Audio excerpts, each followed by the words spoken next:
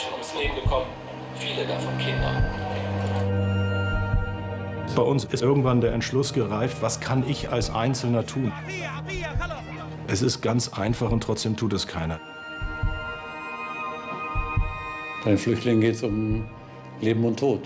Ganz einfach. Und bei uns geht es darum, ein bisschen von unserem Wohlstand abzugeben, im schlimmsten Fall viel von unserem Wohlstand abzugeben.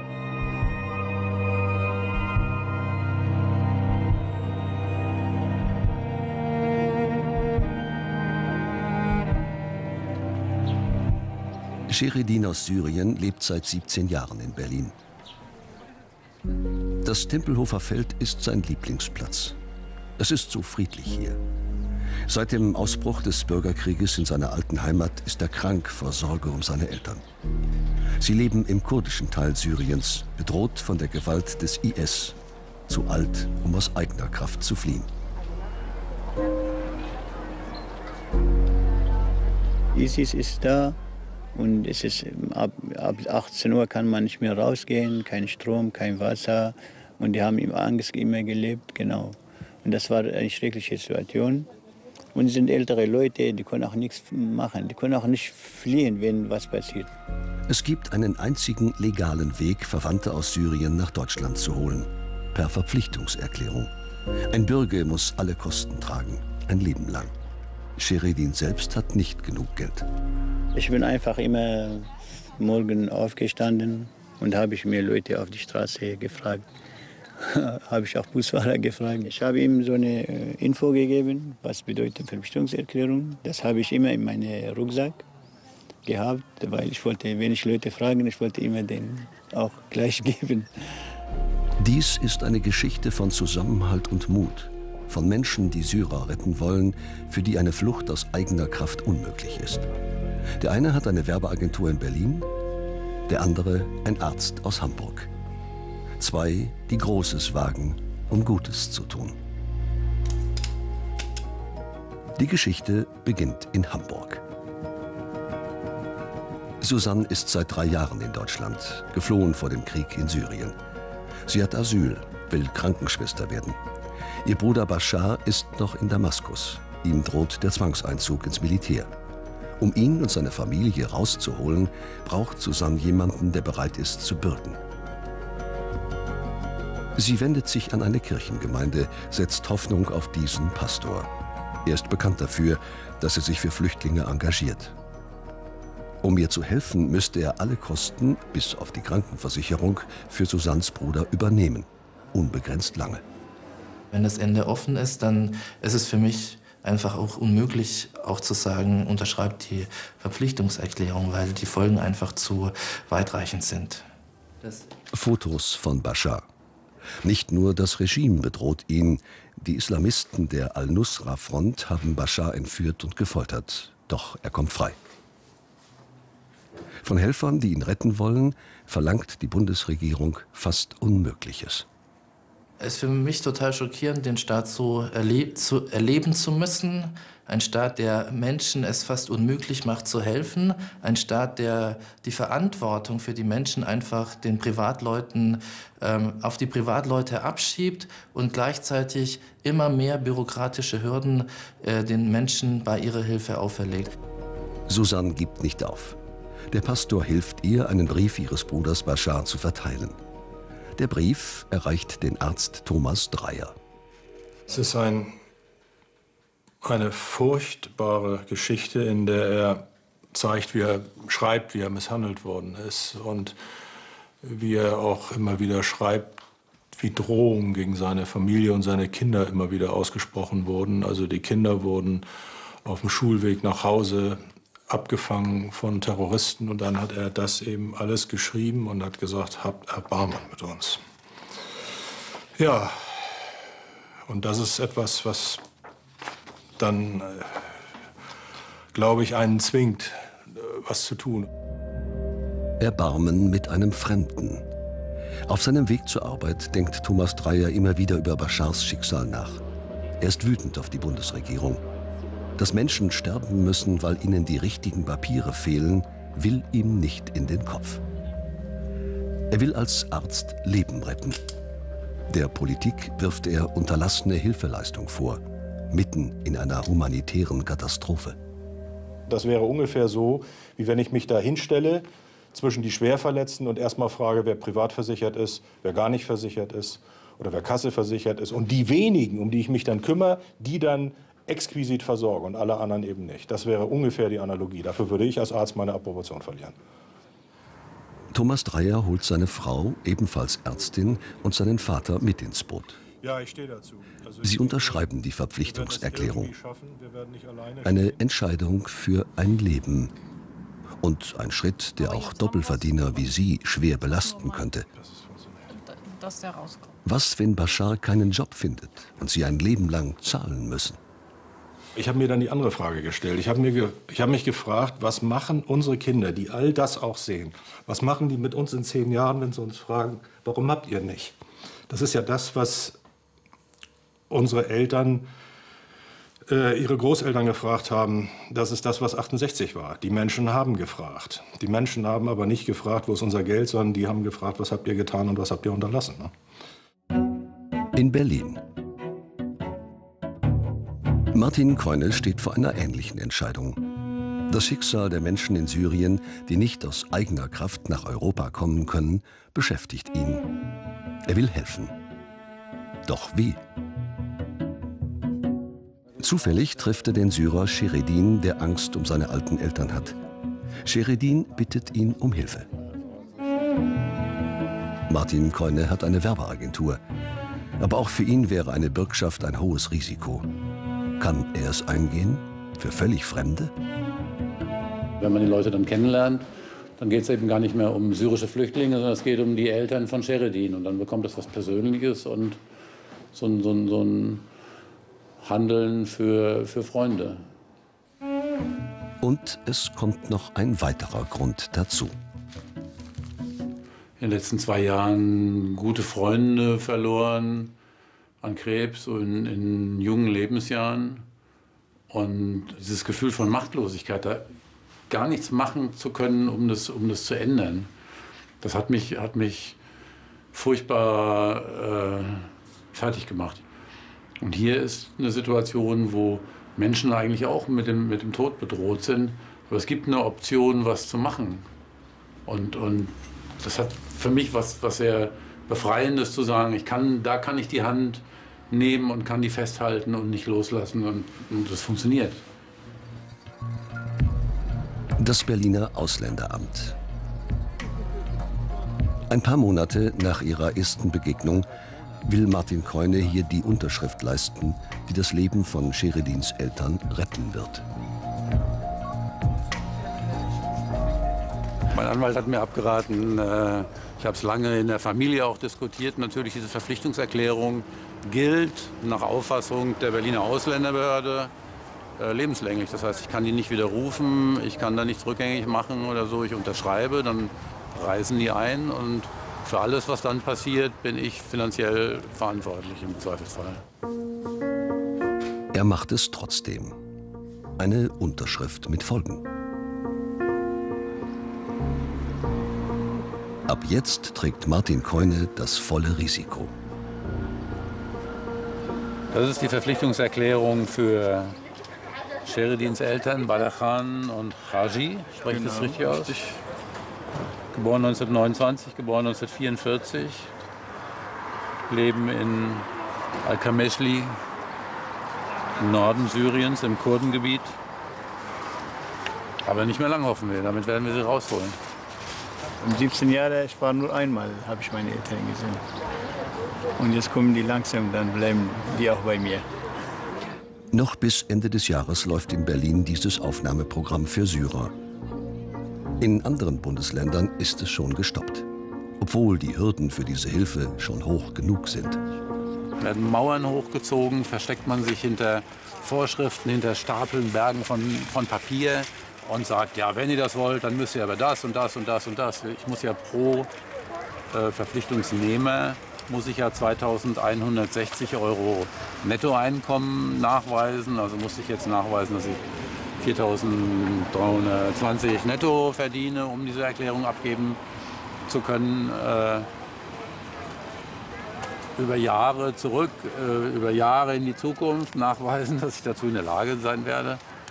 Und da werden einfach so, so Barrieren aufgestellt, um eigentlich die Leute nicht reinzulassen. Sogar wenn der Flüchtling Asyl bekommt, muss der Verpflichtungsgeber weiter zahlen. Der Bund mit Innenminister de Maizière gibt diese harte Linie vor. Viele Länder wie Hamburg und Berlin setzen sie eins zu eins um. Warum macht es die Politik den Helfern so schwer? Regeln äh, sind äh, dazu da, dass sie äh, befolgt werden. Und äh, wenn man auf einem solchen Kanal äh, Menschen äh, hierher holt, ohne dass sie den Weg gehen, den andere gehen, dann muss man sich auch diesen Regularien unterwerfen. Das ist der Weg, den die anderen gehen müssen. Er ist lebensgefährlich. Im Schlepperboot übers Mittelmeer. Oder irgendwie vorbei am NATO-Draht. Eine Tortur. Europa schottet sich ab. Wir sehen ja, dass äh, viele Syrer äh, und auch viele syrische Familien über äh, diverse Wege nach Europa kommen. Und ich glaube auch nicht, dass man das so ohne weiteres wird stoppen können. Der Mann betreibt Flüchtlingspolitik wie Schädlingsbekämpfung. Das klang für mich so, als ob er von Kakerlaken spricht, die trotzdem immer noch ein Loch im Küchenfußboden finden, um in seine blitzblanke deutsche Küche einzudringen. Vor diesem Amt in Berlin, dem Lageso, gibt es seit dem Sommer nicht mal ein Minimum an Versorgung. Flüchtlinge übernachten unter freiem Himmel. Für Martin Keune ein Beweis für das Versagen der Politik. Er rettet Leben auf eigene Kosten. Aber selbst das wird den Helfern schwer gemacht. Noch ist nicht klar, ob das Aufnahmeprogramm per Verpflichtungserklärung für Syrer verlängert wird. Wenn die Behörden selbst nicht in der Lage sind, hier eine Lösung zu finden, dass sie dann gleichzeitig noch Bürger behindern, die sagen, wir nehmen das in unsere eigene Hand. Es ist nicht gewollt, dass die Bürger die unterstützen. Ich frage mich, was ist gewollt? Und ihr müsst jetzt hier warten und warten. Wie bist du hergekommen? Mit dem Schiff? Das war sehr gefährlich. Das kleine Boot ist gekentert und ich musste schwimmen. Dabei habe ich meinen Rucksack mit all meinen Sachen drin verloren.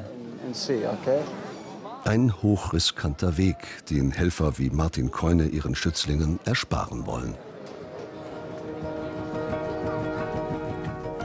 Zurück in Hamburg.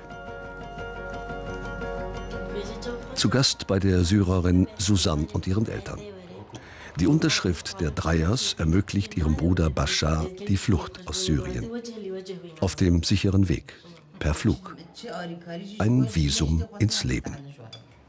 Meine Mutter sagt Dankeschön, wir freuen auf euch. Und wenn wir können etwas mit euch helfen, wir machen das auch gerne. Da freuen wir uns auch. Das wird kommen, das wird irgendwann passieren.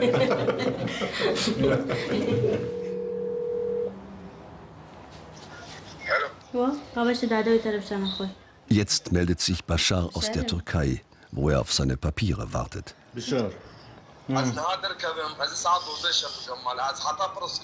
Thomas Dreyer hört zum ersten Mal Bashars Stimme. Mein Bruder hat gesagt, ich vergesse diesen Tag nicht, weil ich komme und grüße dich. Er vergisst auch das nicht. Danke. Und wir vergessen deine Familie nicht.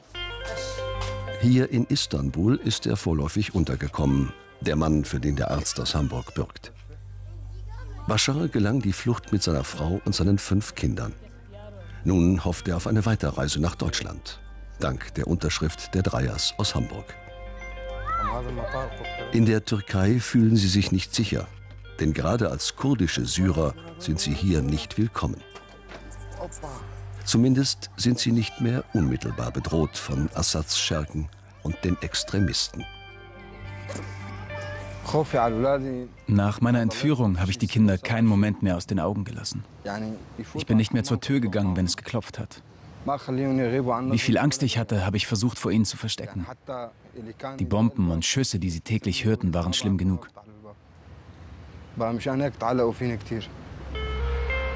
Dass jetzt Fremde aus Deutschland ihm helfen, kann er kaum fassen. Christen retten mich, obwohl ich Muslim bin. Daran sieht man, was wahre Menschlichkeit ist. Sie sind barmherzig zu mir. Das werde ich nie vergessen.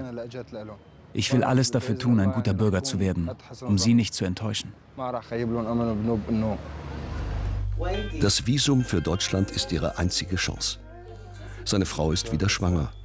Bashar kann nicht richtig gehen, seit er gefoltert wurde. Eine Flucht übers Mittelmeer mit fünf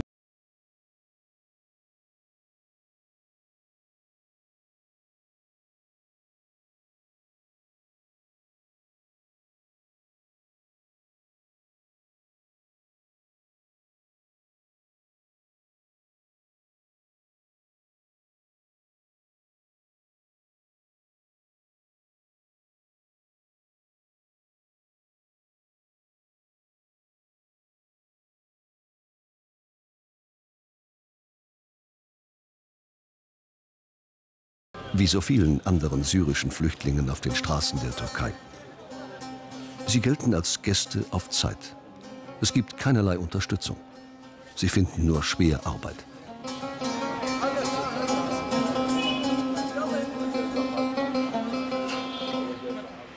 Auf dem Weg zur deutschen Botschaft in Ankara. Bashar will sein Visum beantragen. Er ist nervös. Wie viel gilt die Verpflichtungserklärung wirklich? Wird sich seine Hoffnung erfüllen? Nach Stunden endlich die Bestätigung. Es ist alles gut gegangen. In einer Woche kann er sein Visum abholen. Ich bin erleichtert, aber gleichzeitig auch sehr traurig. Ich bekomme das Visum, aber der Abschied von meiner Familie tut mir jetzt schon weh. Dass es keine andere Lösung gibt, als alleine vorzugehen, zerreißt ihn fast.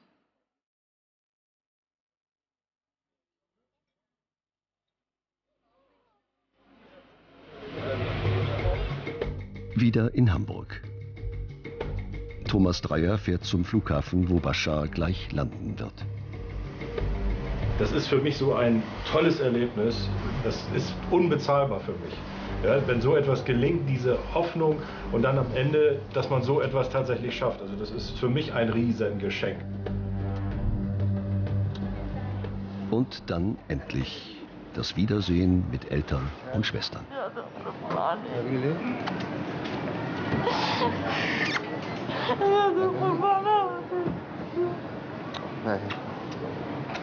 Obrigado. Vamos, Opa,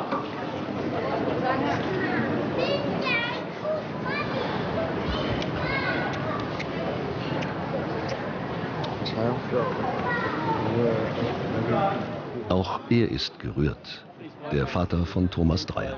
Herzlich willkommen in Deutschland. Willkommen.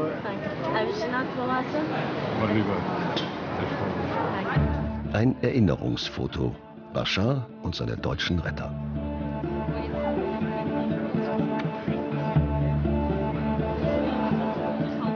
Sie fahren zu einem Begrüßungsfest, das alle zusammen organisiert haben. Bashars erster Eindruck von Deutschland, grüne Bäume, nette Menschen, ein gedeckter Tisch. Er ist überwältigt. Seit Tagen habe ich nicht mehr geschlafen, weil ich so nervös war. Ich war sechs Stunden vor Abflug am Flughafen, aus Angst, den Flug zu verpassen. Jetzt freue ich mich, dass ich hier bin. Wer hätte das, wer hätte das vor drei Monaten gedacht? Thomas Dreyers Vater hat die Verpflichtungserklärung mit unterschrieben. Er hat selbst einen Krieg erlebt. Ich bin in meinem Leben oft gerettet worden. Und äh, nun bin ich am Ende meines Lebens. Ist ja so, nicht? Wenn man 88 ist, kann man sagen, also viel kommt da nicht mehr an Zeit. Aber nun kann ich am Ende meines Lebens mich nochmal revanchieren. Das ist schön. Dreyers hoffen auf viele Nachahmer. Um nicht allein zu stehen, haben sie jetzt einen Verein gegründet.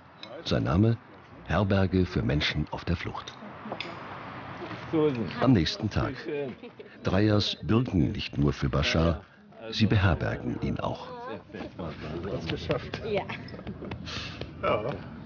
Und freuen sich schon darauf, ihm sein Zimmer zu zeigen. Bashar, so, Da kannst du wohnen. Ja? Ja, hier hast du einen Schrank. Provisorium erstmal, ne? Ja, ja. Erstmal nur. So tolle Menschen wie die Dreyers. Das gibt's nicht nochmal. Ursprünglich hieß es immer, der Staat soll machen, die Flüchtlinge, die Regierung muss das machen. Und es häufen sich jetzt doch die Stimmen, wo sagen, ich habe einen aufgenommen. Und wir können das auch hier bei uns machen. Und äh, es, es langsam beginnt die Gesellschaft zu begreifen, dass das eine Aufgabe ist, die jeder mit dem Herzen selber lösen muss. Bashar ist in Sicherheit. Doch bis seine Familie nachkommen darf, kann es dauern. Thomas Dreyer hofft und betet für Bashars Familie. Auch für sie fühlt er sich verantwortlich. Ich glaube, dass wir, wenn wir fremden Menschen begegnen, die unsere Hilfe brauchen, dass wir Jesus begegnen. Und das ist der Grund, warum ich als Christ glaube, auf diese Weise meinen Gott finden zu können. In Berlin läuft die Rettungsaktion noch. Auch Martin Keune hat Mitstreiter gefunden. Gemeinsam mit ihnen hat er einen Verein gegründet, die Flüchtlingspaten Syrien. Die Idee, das finanzielle Risiko der Verpflichtungserklärung auf viele Schultern verteilen. Mit regelmäßigen Spenden ab 10 Euro monatlich kann man mitmachen und die Verpflichtungsgeber entlasten. Ein Ladenlokal wird zum Treffpunkt. Die Flüchtlingspaten wollen die Syrer nicht nur herholen, sie kümmern sich auch darum, dass sie hier schnell Fuß fassen. Sie begleiten Behördengänge, sammeln Sachspenden und geben Deutschunterricht. Ich, wie heißt du? Genau, das ist die Frage und ich antworte. Ja? Viertel okay. nach sieben. Sieben ist dann so. Und dann Unterdessen im türkischen Izmir. Sheridins Vater auf dem Weg zur deutschen Botschaft. Mit Martin Keunes Unterschrift konnten er und seine Frau Syrien verlassen. Er ist sehr angespannt.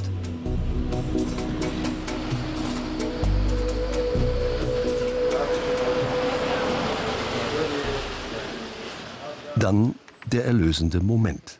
Die Visa für ihn und seine Frau sind da. Schon am nächsten Tag kann es nach Deutschland weitergehen. Der erste Schritt in ein neues Leben nach Monaten der Angst. Wir haben nicht mehr geschlafen. Wir konnten nicht mehr rausgehen, weil wir vor den Bomben Angst hatten. Die IS-Kämpfer haben geplündert, geraubt, getötet. Wir konnten uns nicht wehren und mussten wegschauen. Wer eingegriffen hat, war schnell selber tot. Wir wollen nach Deutschland, ohne Krieg leben. Es wird hart, es ist ein fremdes Land. Wir werden unsere Heimat vermissen, aber dafür können wir dort ohne Angst leben. Aufbruch in der Morgendämmerung. Zwei alte Bäume, die mit Gewalt entwurzelt wurden. Lange haben sie sich dagegen gewehrt, die Heimat zu verlassen, bis es nicht mehr anders ging. Immerhin, diese beiden Alten müssen nicht per Schlepperboot übers Mittelmeer. Zum ersten Mal im Flugzeug, auf dem Weg nach Berlin. Hier wartet schon ihr Retter Martin Keune auf sie. Vor drei Monaten hat er die Verpflichtungserklärung unterschrieben. Jetzt kommen diese Menschen, die er noch nie gesehen hat. Ich bin unter anderem auch glücklich, dass es funktioniert, dass es geht, dass es diese kleine Lücke noch gibt. Ich habe Angst, dass das Programm in Berlin Ende des Jahres nicht verlängert wird, dass wir dann niemanden mehr rausholen können aus dem Krieg in Syrien. Aber diese beiden, die werden da sein und die gehen auch nicht mehr zurück. Die sind in Sicherheit hier, denen passiert nichts mehr. Hey! hallo, hallo, hallo. Sag mal, dass ihr das noch schafft. Ja, mit Schwierigkeiten natürlich. Erstmal die Senioren, ja. die Erstmal Vaterkhan. mein Vater, ja. Hey! Das ist Rashi. Hallo, Herr. Hallo. Mensch, ihr seid lang geflogen jetzt. da sind wir.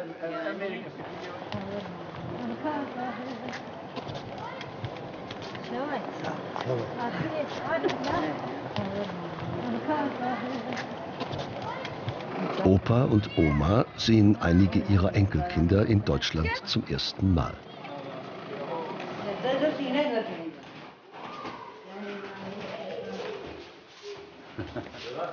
Haben wir noch ein paar Kekse? Martin Keune befüllt den Kühlschrank für sie.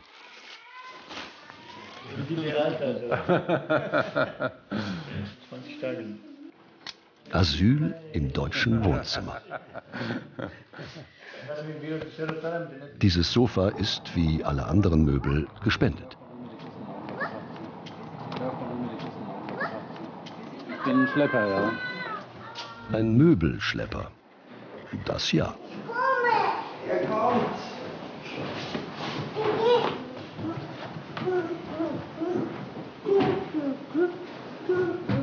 Ein Kissen fehlt noch. Ei. Enkel Youssef hilft auch mit, die Wohnung für seine Großeltern einzurichten.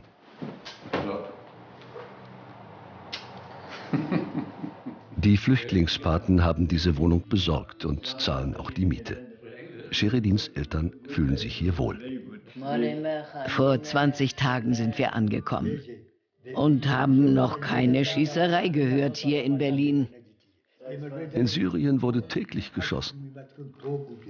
Badachan und Khaji wären in, in Syrien zurückgeblieben, wenn wir die nicht geholt hätten. Und deswegen ist es gerade eine Aufgabe, die Frauen mit den Kindern, äh, die Kranken, die Alten irgendwie trotzdem noch daraus zu retten. Und das versuchen wir. Europas Grenzen töten. Doch diese Rettung hat geklappt. Gemeinsam mit Martin Keune hilft Sheridin seinen Eltern in Berlin heimisch zu werden. Sie erkunden zusammen das Viertel. Und während Politiker debattieren, wie man Flüchtlinge davon abhält, nach Deutschland zu kommen, kaufen diese drei heute ein für ein großes Willkommensfest, um die Ankunft der Syrer in Berlin zu feiern. Leben retten per Bürgschaft. Das kann ein Einzelner kaum schaffen. Aber zusammen geht es. In Hamburg wie in Berlin. Aus einer scheinbar verrückten Aktion von wenigen ist jetzt schon eine kleine Bewegung geworden.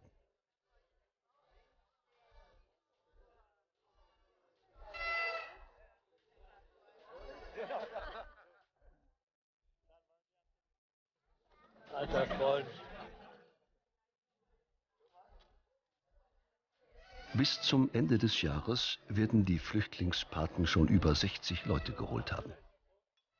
Über 1000 Spender unterstützen den Verein mittlerweile monatlich. Wenn das kein Grund zum Feiern ist. Die Flüchtlingspaten wollen weitermachen. Leben retten auf eigene Kosten. Solange das noch geht. Thank you.